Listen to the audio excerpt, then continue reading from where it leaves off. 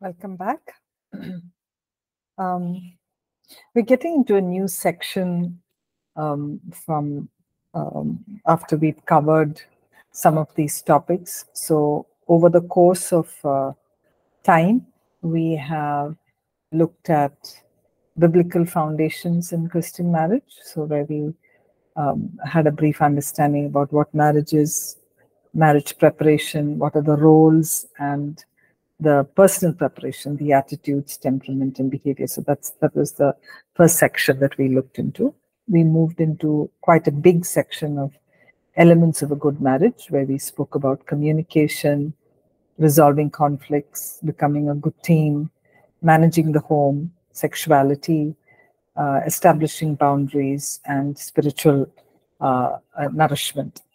And uh, then we, last week and this week, we looked at challenges in marriage. How do we overcome challenges? And we looked at the last class of how we can release the past and move forward. So these are a couple of sections that we've done. We're moving into our next session, which uh, we'll take today and uh, next week, which is foundations for parents, for parenting, and um, the the years that follow. So we, we are going to be focusing on two chapters uh, in that, which is chapter 14 and chapter 15. So today we start with chapter 14. And uh, on your books, in your books, it's um, 147.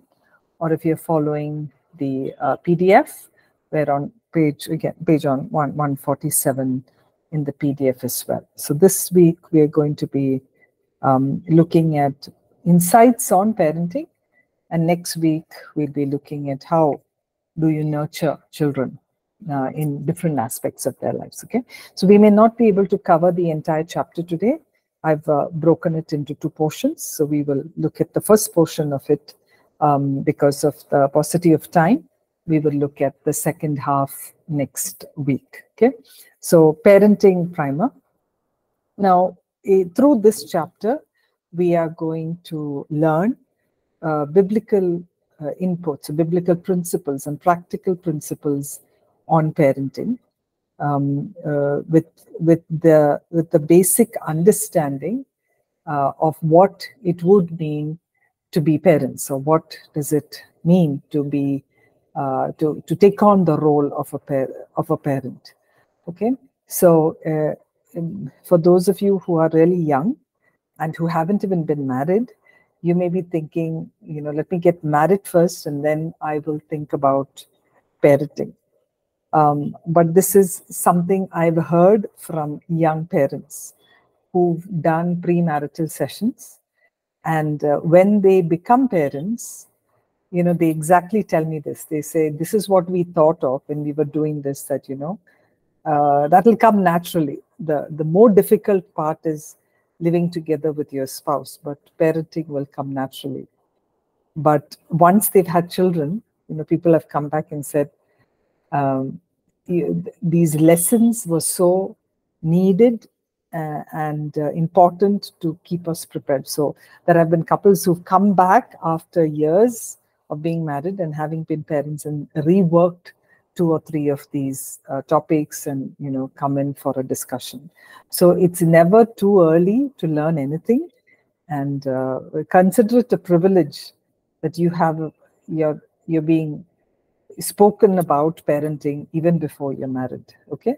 So pay attention keep your ears open listen because uh, um, you know these things are extremely useful okay so where what we've learned so far is that uh, God is the one who's instituted marriage.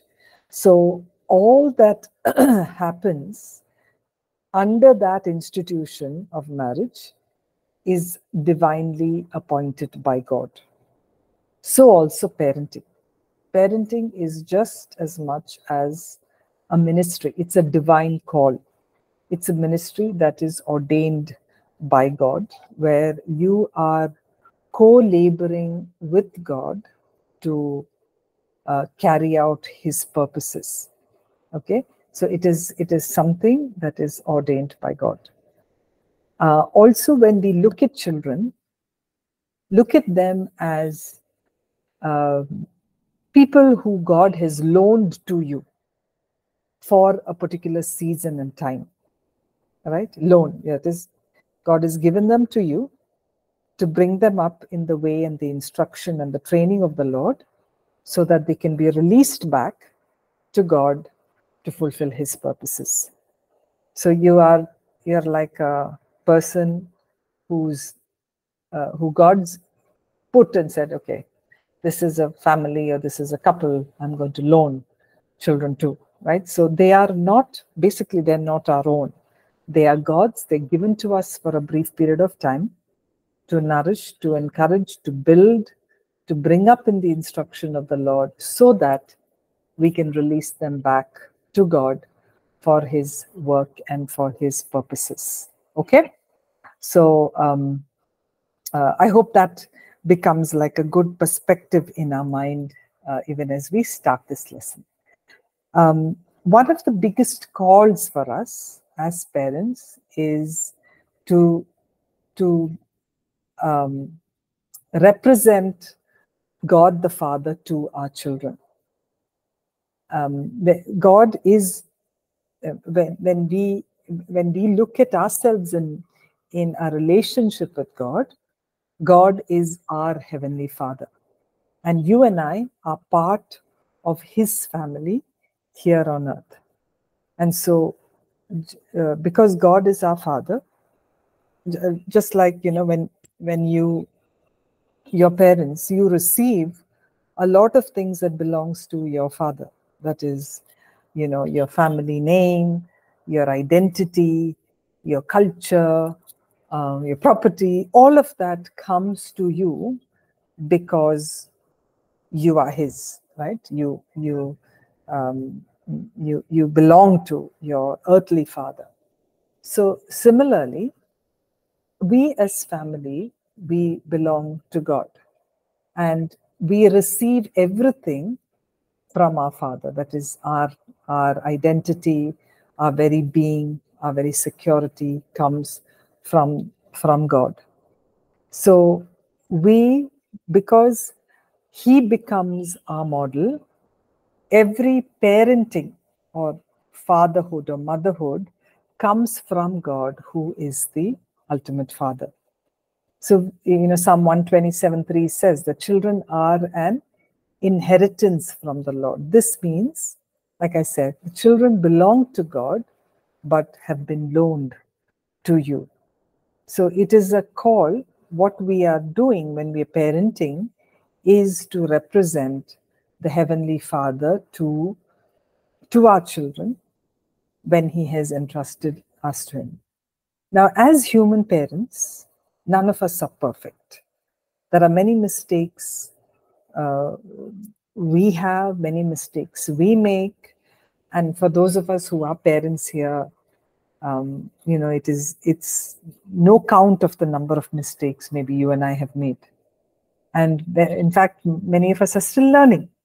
And in every stage of life, we are learning more and more. When we think that we finished, comes the next season of life where there is so much to, to learn. Whether they're infants or toddlers or children or adolescents or adult children, there is so much that we learn about what parenting is all about. Okay. And through every season and every stage of life, that's what we are called to do to represent Father God to our children. That is to show who God is through our own lives to our children. So this can be an extremely, it's a very big task, you know. That's why that's what uh, God God is perfect. He's holy. He is there's no flaw, there's no blemish in him. But our desire should be that when our children um, meet with us, when our children deal with us, they are able to see God in us and through us. And they will begin to have the right picture of who God is, understand um, what the love of God is through our lives. And, you know, that's the, um, uh, a lot of times, I think, again, maybe just a little bit of sharing from what happens, you know, in counseling sessions uh, to to people, you know, the the, the way that uh, young children are helped or treated by their fathers uh, becomes it, it shows you a picture of how they see God later in their lives. Whatever they've experienced with their early fa- with their earthly father in the early days of their life, maybe as a child, what you see from your father is what you compute as you see from the Heavenly Father. And so when young children go through difficult trauma, areas of trauma caused by their own earthly fathers, the way that they see God is very colored by what they see in their earthly father. Because as a child, they are your most important caretakers. And a child only knows how to trust, knows only how to depend. They don't know otherwise, right? Because the the caretakers, the father and mother become the strongest influencers in their life. So a lot of hurt comes from that. And that's that's so important why as young parents it's important to know and understand how we deal with children. Because we are representing the heavenly father to our children when you know you are that flesh and blood that your child sees. And it's only when they turn into more mature adults do they begin to see a representation of who god is in you in uh, you know who who god really is. But the first glimpse of that comes from you as an earthly parent. So that's so important why parenting in itself is something that should be intentional. And uh, that's why we're taking this time to really dwell into this and discuss this. Okay. So the aim of parenting is to represent the Father God to the children because children sees God through our lives, through our actions. Okay how do we represent god the father? It is to be to be in a place to give god to give unconditional love. Only god's love has these ha, uh, is unconditional in itself. It's immeasurable that is you know it's so vast there's no limit to it you can't measure it. There are no conditions to it that is, God doesn't say, I will love you only if you sin no more, or I will love you only if you do these 10 commandments. I will love you only if you become this or that, right? God's love is immeasurable. And we read of this kind of love, the dimensions of God's love in Ephesians chapter 3, verses 17 to 19. Can some can one of you read that? Ephesians chapter 3, verses 17 to 19.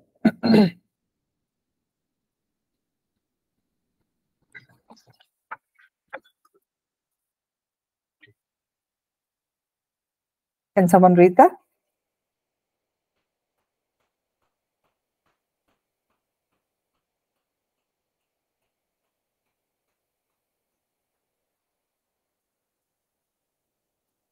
Okay, I think I'll read it then. Ephesians 3 17 to 19. It says, um, that Christ may dwell in your hearts through faith, that you, being rooted and grounded in love, may be able to comprehend with all the saints what is the width and length and depth and height, to know the love of God which passes knowledge, that you may be filled with all the fullness of God.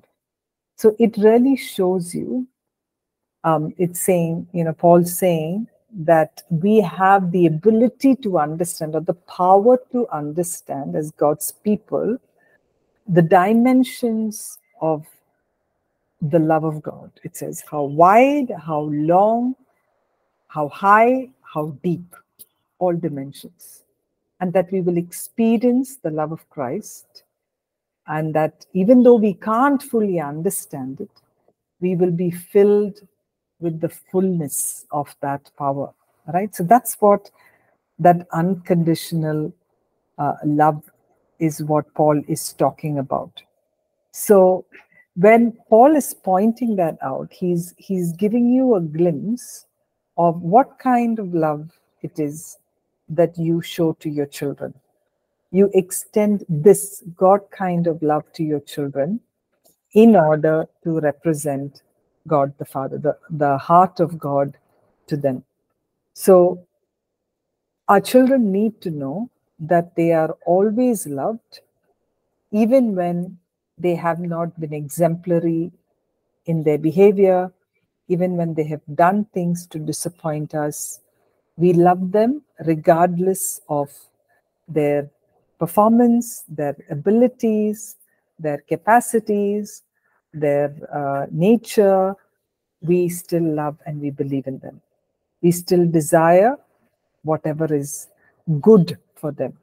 So everything comes from this unconditional love that we have experienced of love of God, and that's what we represent. Okay, so representing our Heavenly Father comes from the way that we give that kind of love to God. One another way that we show or we bring about who God is is by being examples, by being that role model for our children. Okay, uh, Proverbs 37, uh, 27 says, God loyal people living honest lives make it much easier for their children. So, who is uh, a, a person, a role model? A role model is someone who you follow, who you imitate. They are generally people who you may admire or you may want to imitate. Okay.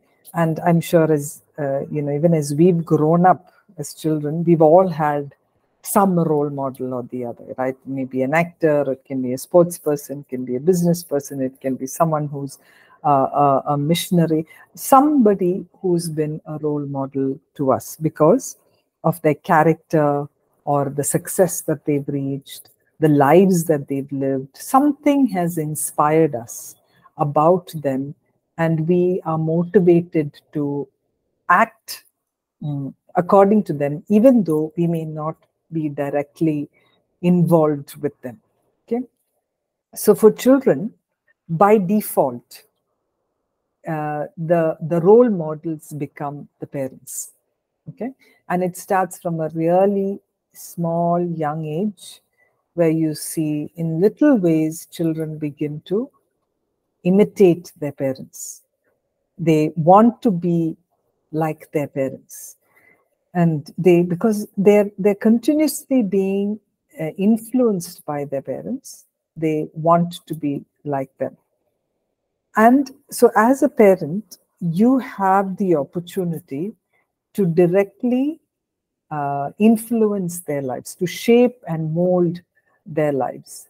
So it is often left to the parent to either make this, to build this and make this a strong positive influence or other way around. Okay.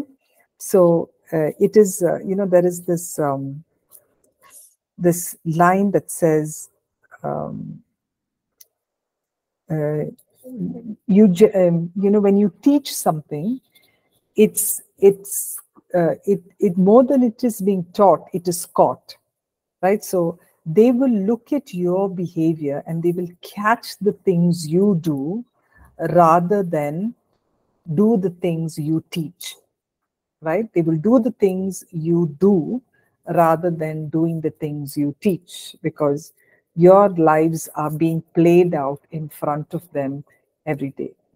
So, the way that a parent interacts, in the way our attitudes, our words, our behaviors, our actions, is something that we consciously need to model to the children. And that's exactly what God wants us to be.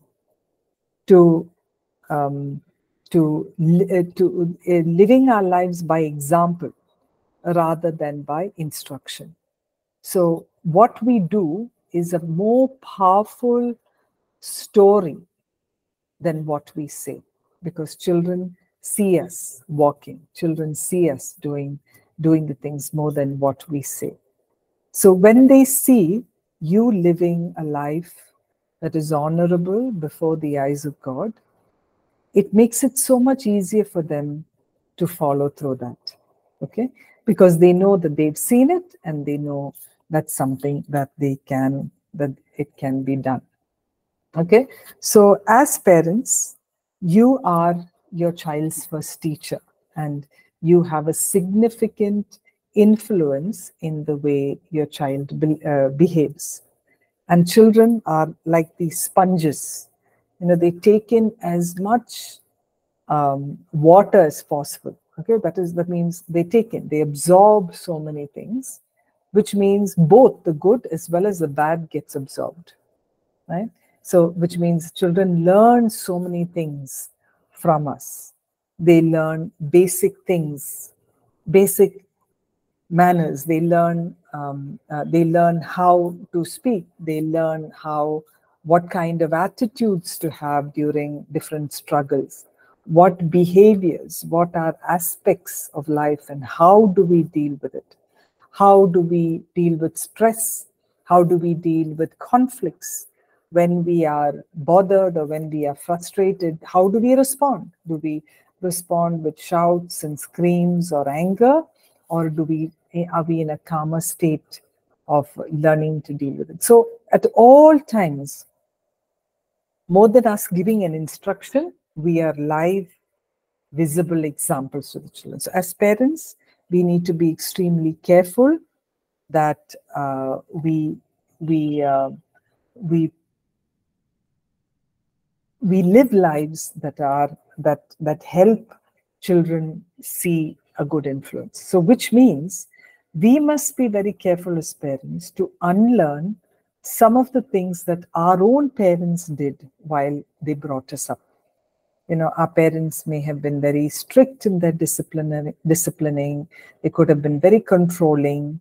They could have they there may have been certain behaviors that have been unhealthy for us.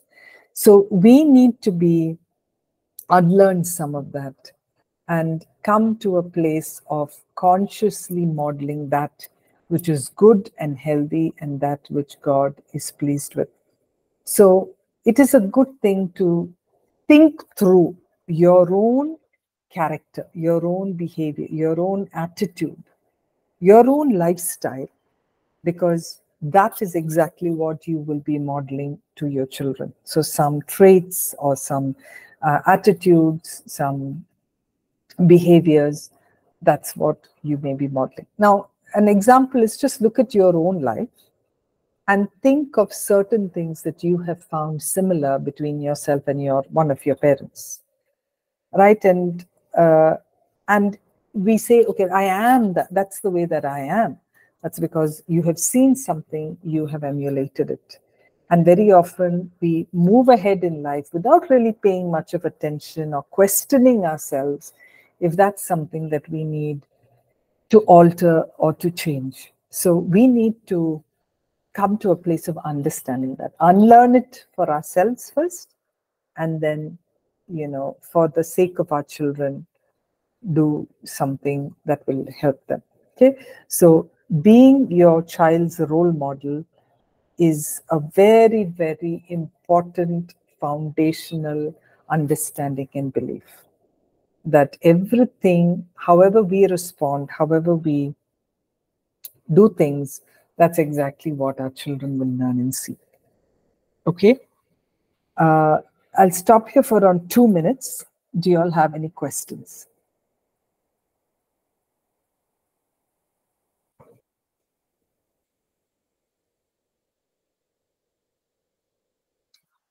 Any questions?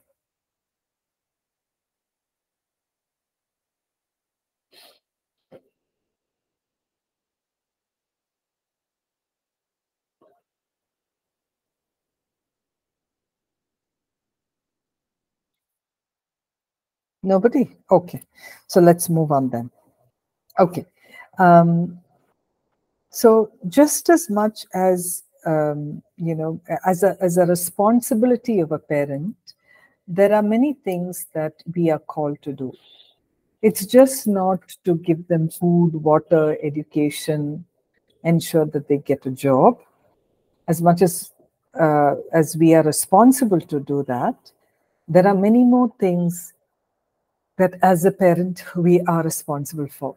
That is to provide them um, um, emotionally, provide for them spiritually, provide for them socially, uh, with, with regard to disciplines, values, morally, principles, all of them. And that is what we are responsible for. And that's what we say. We train them to know how to live. So remember that our children are not going to be mothered and fathered by us beyond a certain point, right? Beyond the point of maybe 14, 15. Uh, after that, they start becoming their own person, their own people. So think of it like this the home is like a lab, a laboratory, where you learn, right? You do a lot of experiments in your chemistry lab, in your bio lab, so that when you go out in the world, you apply all that you learned in that protected environment and you go out and live in the world out, right? Uh, in maybe in a subject like biology or chemistry, you use those principles that you learned in the lab in different things in your work. Similarly, the years that a child spends with their parents at home is like a laboratory. It's a controlled, protected, careful environment where you can make all your mistakes. Uh, you know, there is correction, there is help, everything is given to you. So that's what we are called to do teaching them how to live, which is, and how you do that is when you impart values, principles, disciplines, skills. And this happens over a period of time. And this happens slowly from simple to complex. You don't teach a two year old child about, um, you know, social manners that would need for a 14 year old. You teach them small, maybe saying thank you, saying hello, saying sorry. But then as they grow up, it becomes, uh, the, the teaching becomes more and more. So all these are imbibed early and it's done so very quickly. So when, so when we as parents are able to teach them different things uh, for life, then they are able to function like that. So there may be certain values or you know principles, maybe like um, values such as honesty, values of um, being kind to one another, generous, compassionate, considerate, being truthful, being integral. There may be certain principles or certain disciplines that you want to teach, being uh, industrious, being punctual, being determined, working hard, or there can be certain life skills that you're teaching the, in the way they communicate, in the way they uh, solve problems, in the way that they make decisions, in the way they make choices. So all of this comes from the parents. You know, you build them up through that. So it is good to list, to be able to know what are a set of values or principles you want to teach your children. And there is some exercises in the book that you can do for yourself, like list out what are some principles, some disciplines, some life skills that you would really like to teach your child and bring them up in. Okay, so it's just not spiritual and physical. There's a lot more to a person um, in the sense of how they deal with them emotionally, how they how they are good stewards of their money financially, how they are um, how they can think, you know, cognitively, how do they think? So all of this comes from you as a parent. So to be able to do that consistently as they are with you. okay. Now, even as we bring up children, it's important to know your children, to understand your children, because every child is made very, very different and unique. God did not make, you know, a vada maker to make children or a cookie cutter to make children. Everyone is very different. And um, there are uh, each child, especially even in families, every child is very different. And let's look at some insights onto how you can understand your child. Okay, so can someone read Psalm 127, chapter one, chapter 127, verses 3 to 5? Psalm 127, 3 to 5. Anybody? Sam, mom, can you hear? I can. I can, Anand. Go ahead. Psalm 127, verse 3 and 4. Behold, children are a heritage from the Lord. The fruit of the the fruit of the womb is a reward. Like arrows in the hand of warrior, so are the children of one's youth. Can you read verse 5 also, Anand? Yeah, ma'am. Verse 5 Happy is the man who has his quiver full of them. They shall not be ashamed, but shall speak with their enemies in the gate. Okay, thank you. Thanks, Anand. So when you look at this, uh, you know, it's giving a picture, it's giving some word pictures of how children are like uh, arrows. Okay, it's giving you that interesting picture. And when you when you take an arrow in your hand, um, you know there are certain things that that you know of an arrow is that when you are shooting an arrow, you can't aimlessly shoot an arrow. You it needs a certain target, right? If you aimlessly shoot an arrow, it'll go hit something else somewhere else. You'll be in big trouble.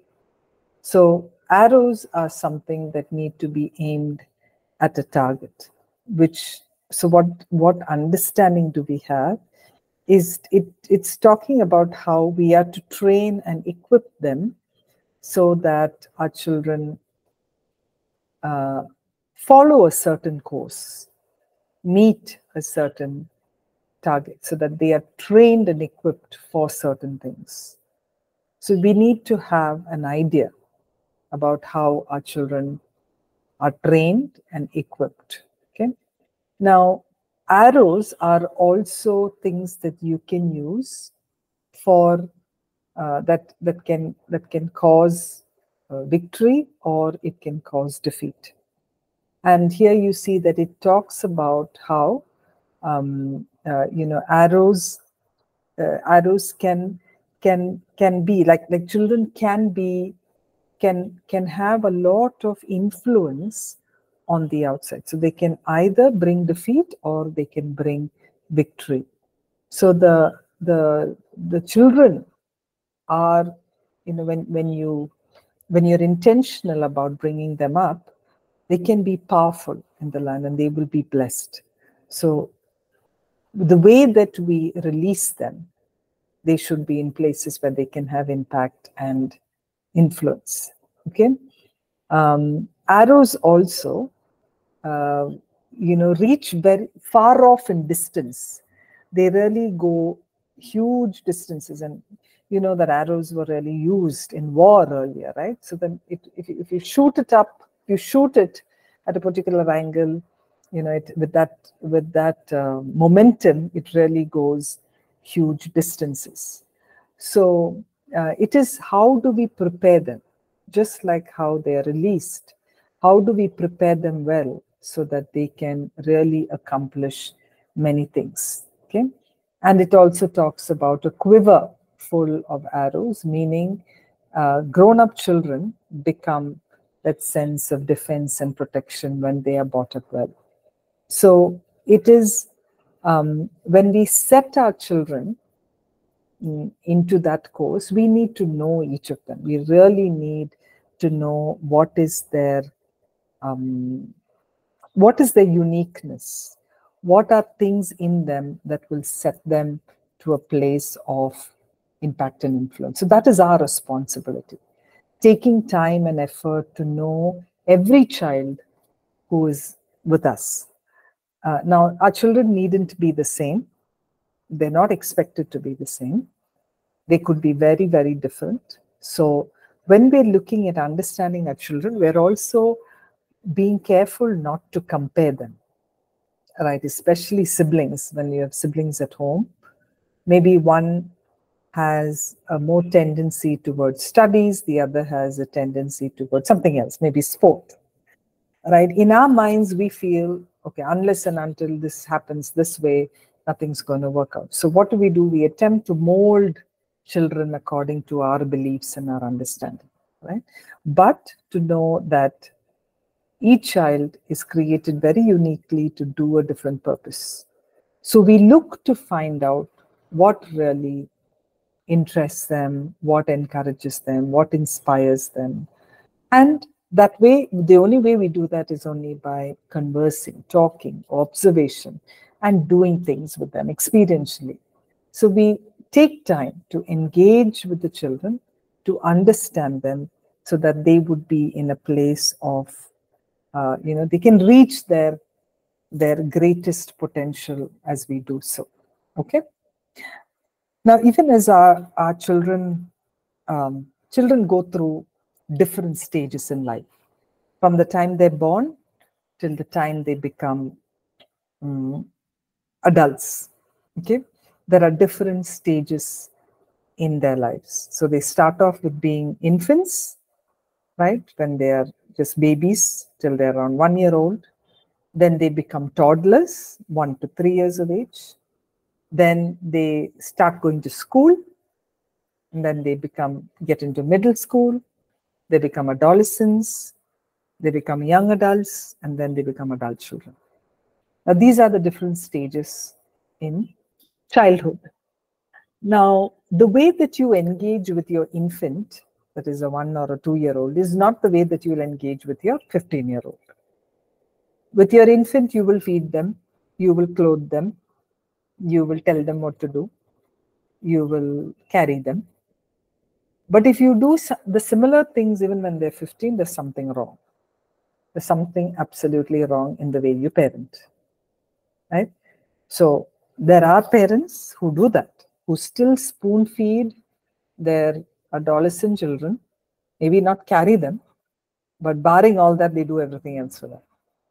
But the way that you as a parent or we as parents engage with them needs to adapt to their age or to their stage stages so we the way that we instruct them the way that we teach them way we discipline them all change according to the stage of life that they are in for example if you are going to use a belt or a cane to beat your adult child who's 21 year old the same way that you used maybe for your uh, uh, preschooler, that doesn't work, right? The, the child will soon come back to you and, uh, you know, there are going to be problems that arise. So every stage has a different way of engaging.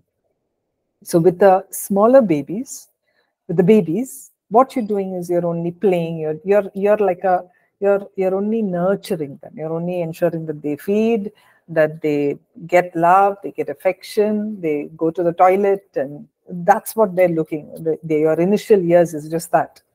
Slowly, as they grow, you become like a playmate. You're the one who plays with them. You become the guide. You become, uh, you start showing them different, different things about how life is. When they become a little older, after around seven, eight years, you become more instructive. You dis- begin to discipline them right? And then you begin to build come bring them up to a stage where they are able to reason with you. When they become adolescents between 13 to 18 you are participating alongside you're encouraging you're empowering them you're equipping them. You are more like a team teammate to them right? As young adults you're more like a coach you're like a mentor. And after after uh, they turn adults you're more like a advisor more like a friend who shares and experiences ideas. You respect their opinion. Now these transitions are extremely important to take and that's a place where as parents we need to keep growing need to keep developing our styles of dealing with them just like how uh, uh, just like how they are they are different how they are turning to be different okay?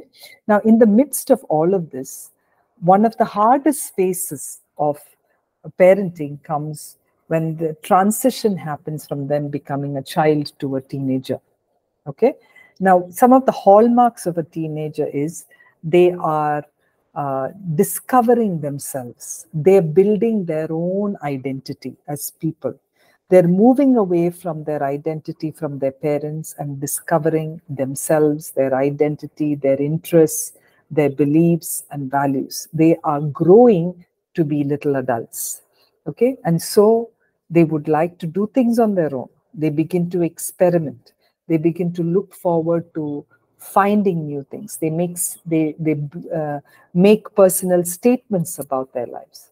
So, as parents, it's very important to understand and work out these things with them uh, as teenagers.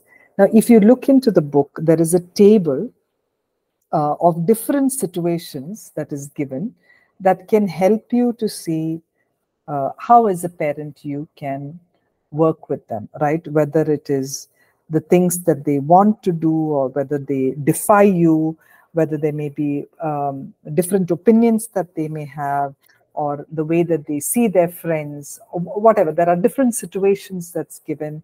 And maybe you know if you can go back and read that um, it's it's helpful. Just there there day to day situations that take place that you can look at and understand. Okay, I'll stop here because the next uh, um, mm, whole section is about discipline.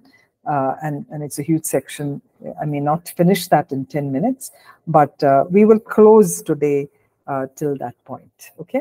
Uh, I want to open this out for questions. If you don't have any questions today, I am I will be 100% sure that you have not listened. Okay, so uh, I am hoping for at least one or two questions to to bring up a discussion. Yes, over to you.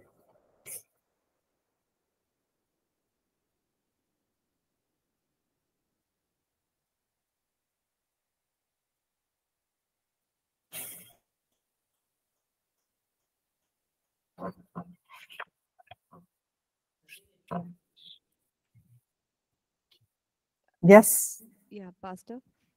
Yes. So, Nina, is that you? yes. Ah, yes. Yes, Nina, tell me. Yeah. So uh, sometimes uh, growing up years, we are not aware of so many these truths, so many of these truths. Mm. So um, now, like how to, I know it's difficult, but still, uh, how to handle things like in a better way. Mm. Mm. Okay, so I think that's a wonderful question, and uh, you know, I, I, this is a question that I often get when I do these parenting sessions. Is you know, I we never knew all of this. Now our children are such and such age. How do we make that change? So um, I think first and foremost, um, Nina, the, the important thing to to know and to understand is that to remember that God is in control. Okay, uh, any bad situation, He can reverse. He can change for our good. That is the foundational truth we need to have, right? When, especially when we when we see things much later on in life, and a lot of things are behind us. The second thing is, um, uh, you know, in case if at points of time the Holy Spirit convicts us of mistakes we've made as parents. One of the most humble things that we can do is to approach our children and really seek forgiveness from them. Um, because when we are convicted, it leads to repentance. So when we repent, we are also sharing with our children that I am committing not to make these mistakes again. And I want to have a different way of dealing with you from here on. And I choose to do such and such and such and such. So when you do that, you're actually, it's a very powerful thing to commit to your children uh, what when you have made a mistake you know asking for forgiveness and then committing to them that you are choosing to do better choosing to um, do things differently. And that in itself can bring about so much of a change. So i believe nothing is late even when we have lost many many years we can go back um, to our children, repent, express um, how you would like to change things, depending on the age of your child. Let's say you may have a adolescent or a young adult. A adolescent young adult is a place, like I said, you know, that's that place where you are sharing ideas. You are uh, particip- you're equally participating, maybe sitting together and finding out better ways of how you all can interact with one another that that can sometimes be very helpful. If your child is older you know you can actually converse and talk with your child on how uh, you want you can make things better. So one is to hear their ideas. And so they may say you know i this is what you've never done or this is how you have been.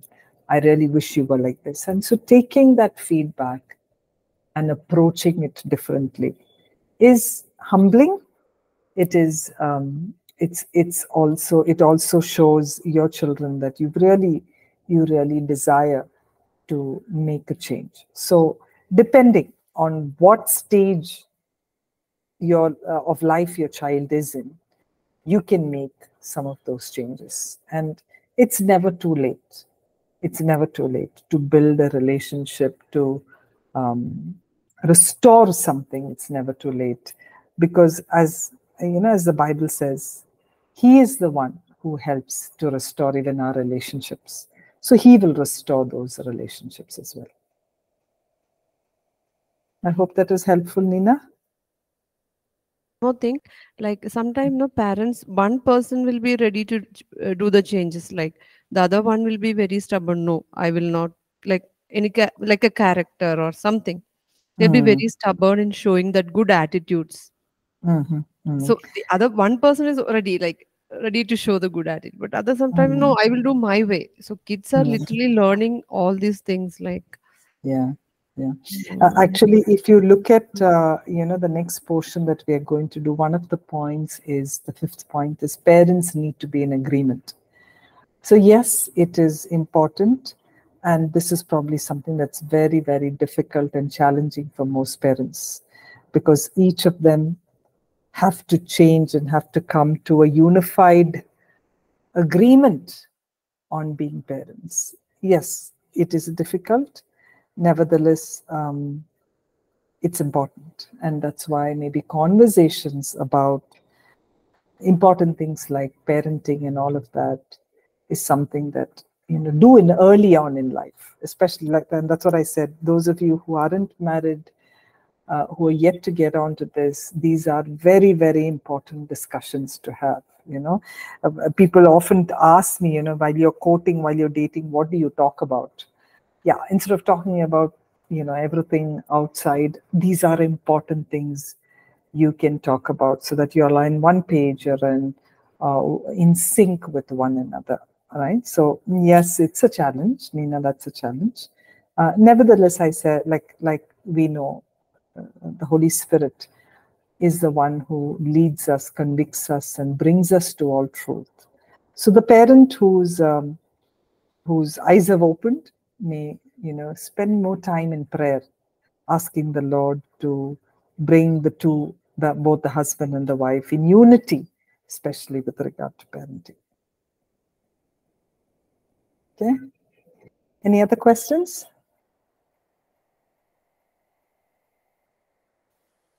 Thank you. Thank you, Pastor. Okay.